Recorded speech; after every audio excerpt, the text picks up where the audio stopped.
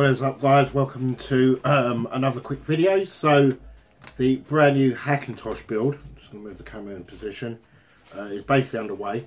Uh, what I'm doing, I'm just spending a bit of time um, prepping the uh, water cooling system, uh, which is okay, which is here. if you can see that. And we've got the new uh, micro uh, ATX motherboard, which is just turned up uh, which is great. This is a Skylake motherboard, uh, so it's an 1151 socket motherboard, uh, which is going to support um, my um, 6700K. So at the moment, I'm just putting this together. This is a DeepCool uh, water cooler. So I'm just going to change position at the moment, and uh, we're just going to quickly set that up. Um, obviously, this is uh, part two to the video which is setting up the water cooler and um, just having a quick in-depth look um, at the motherboard.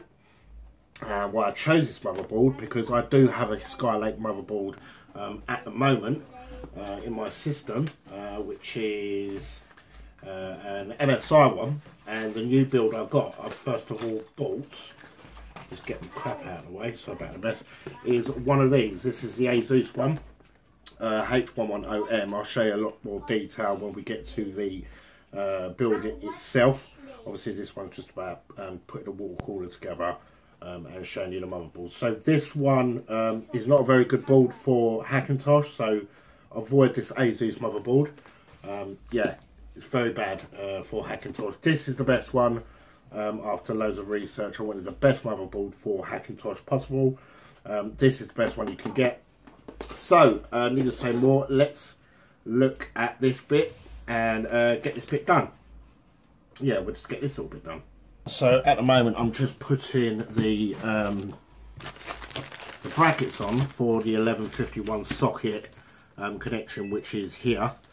Um, it's quite an easy process. These brackets here are for the water cooler itself, and I'll show you that in a second. But first of all, um, I'm going to go to the second one here.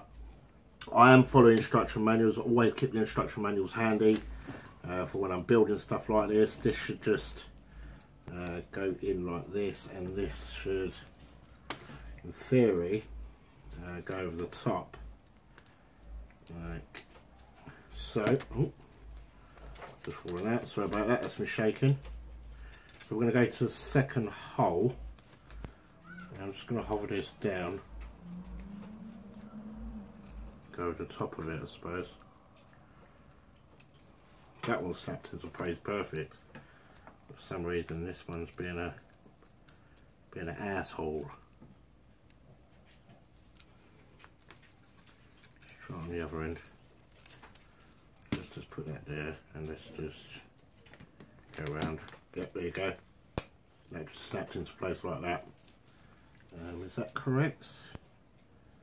Yep, so we've got the uh, two top ones and the two end ones. This is a Skylake uh, connection, so obviously I don't want to uh, mess this up and lose all the screws. I was going to do an unboxing for this, but unboxings are getting a bit tedious now, I think. I think it's best to get to the nitty gritty and start off with. So I'm just going to try and slide that over without breaking it.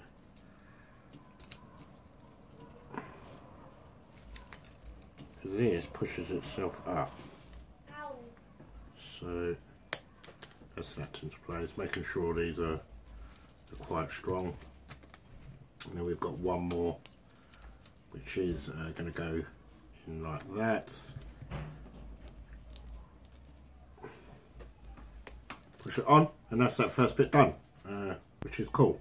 That's going to go at the back um, of the uh, motherboard, um, and then water cooler is going to uh, connect to it like this. So I'll just get the water cooler, cooler out of the box quickly. So this is the water cooler, which um, I've heard. Oh shit! Just touch the thermal paste, which is not good. I have to apply some more to that. So this is the water cooler. Um, for some reason, I bought it brand new and it's not got a protective plate over the top of that. So that's something I'm going to have to report to the supplier um, for that. Oh, there it is. It's obviously just fallen off. Like that. That's meant to go like that. Um, and these are going to go here basically get screwed in so we're just going to look at that now I'm just going to put this back in the box for now um, I'm doing all this prep work so when we come to the actual build itself um, it's going to be uh, quite easy uh, to do. So I'm just looking how these guys have try not to touch this thermal paste have put this on. I think that goes like Looks boring. that and I've got to find the screws. That screw it together. Because they don't really it, these diagrams are not very good at, at all telling you. So it should be four so I think it's these ones here. So I'm going to have to get a Phillips screwdriver uh, very quickly um, and I'll be right back. Right so I've got my screwdrivers. Now, now I'm going to try and uh, put these brackets on. Um, so they're secure. Yep, that fits. And I want to try and not get me hand. Oh, that's come off. It doesn't help. As you guys know, um, I suffer from the shakes, uh, which doesn't help when you're coming doing stuff like this. Really, I should get someone to help me with this, but I'm an independent person that likes to uh, sort of figure things out and get things done myself. I, I don't like sort of relying um, on people um, to do a job that I can try um, my very best um, to do. So I'm just going to, oh, I'll drop that screw.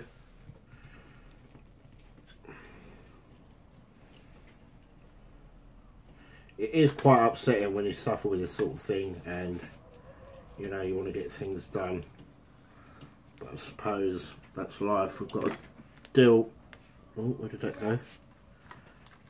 We've got to deal with our um, disabilities, should I say, um, the best way we can, really. Um, I actually don't think that's for that because that's got like a, a hex on it. Oh, that goes in from the bottom. By the looks of it in the manual, guys, this you turn the other way and it looks like this gets screwed in from the bottom uh, which might make um, a little bit easier just got to get this magnetic thing in Oh my god, this is going to be a nightmare for me guys. I, I really don't care about the thermal paste because um, I am going to reapply some... Oh yeah, I've got the first one in. I'm going to be putting some MX paste on this. Uh, anyway. That correct? Is that screwing in? Yeah. First one's in, which is good. but we want to make this you know the the most stable quickest most silent Hackintosh I can for uh, the money uh, really uh, something that is going to, going to um, shall I say surpassed something that Apple uh, sell in their shop Mind you, with the specs they're producing these days, anything can. But we want this uh, super quick. You know, at the end of the day, it's going to be used as my main machine uh, for quite some time. And I want to make this look good and feel good at the same time, if that makes sense. I want this looking absolutely stunning for you guys. Really nice little build. Um, I'm still um, on two minds about the case, uh, which is a bit of a pain in the bum. But um, I will get a case soon and I will get that uh, next day delivery shipped. I'm actually hoping I put the right bracket on actually. Just try it like this.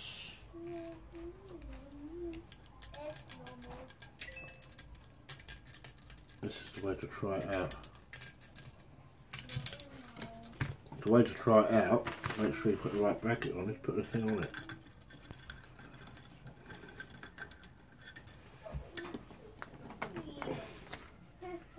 I don't think I put the right bracket on guys.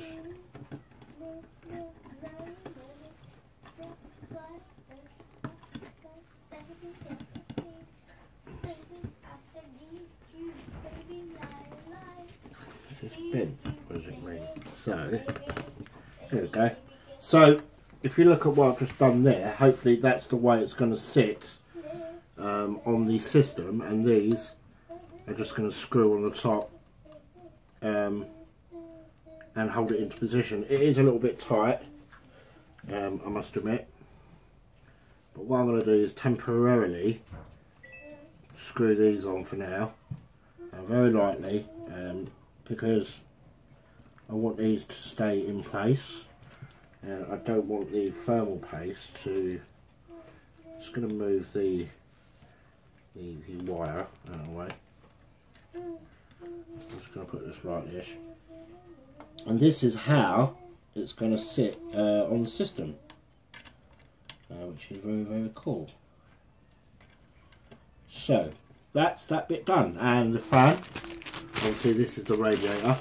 Uh, sorry, this is the radiator here. This is the fan that goes on front.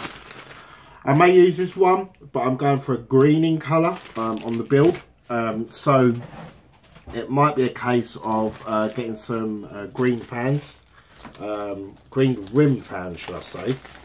What I'm going to do is I'm just going to pop all this gobbledygook uh, back in the bag. That can stay like that in a box because that's absolutely fine. That basically is ready to be installed. So it's always about, know, prep work, uh, getting the prep work done first. Put this in so it's not going to get damaged and put this away safe and then I can show you the motherboard um, what we've got for the build. Get this and um, basically just cover this up so it doesn't get um, damaged. So put this back in the box as well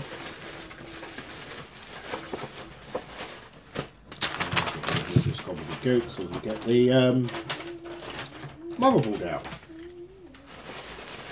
we can show that and I'll explain some things to you guys which are going to help you out with your Hackintosh. So, put this away for now, move all this crap. This is the motherboard I chose and the reason why I chose this motherboard is because it is a good value motherboard, it's a Gigabyte motherboard. If you're building a Hackintosh in general, don't go with Asus guys, yeah, don't go with anything but Gigabyte. Gigabyte is basically the same sort of chipset that's used in Macs.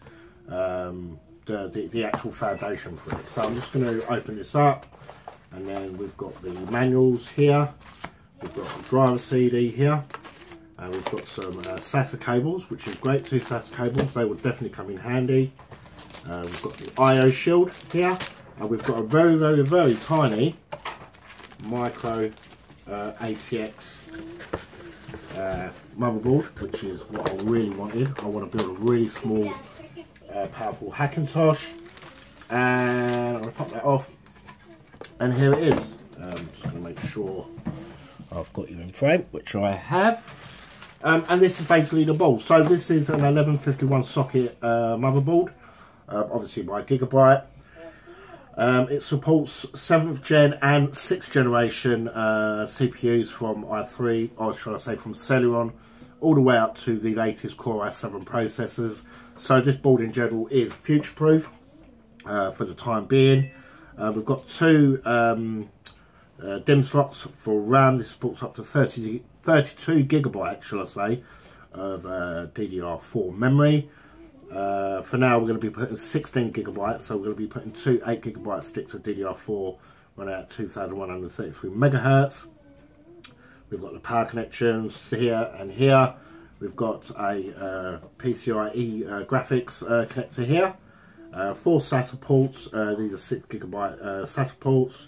USB 3.0 header. We've got all our um, bits to connect our motherboards. So we've got the um, you know, the power, the HD LEDs, all that good stuff.